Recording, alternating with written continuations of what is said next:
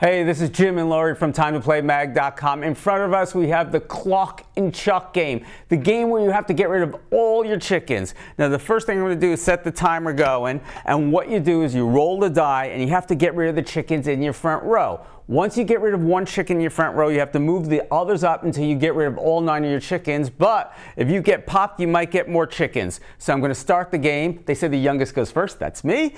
And you get to roll in a blue. I don't have a blue one. You have a blue one in front row. And you get to roll. And you move one up and you don't have a blue one. I don't have blue. I get to go. So yellow. So, well, you're rolling. I'm going to move a green one to the front row. Red one. Do you have a blue one? No, I don't have a blue one. And it's about a 30 second timer purple. So I am stuck with the timer, so I get the three chickens. So I am stuck. I now have a lot of chickens that I have to get rid of. First one to get rid of all the chickens wins the game. This is for kids ages 4 and up from Patch Products. If you're looking for other great family games for your family, come visit us at timetoplaymag.com.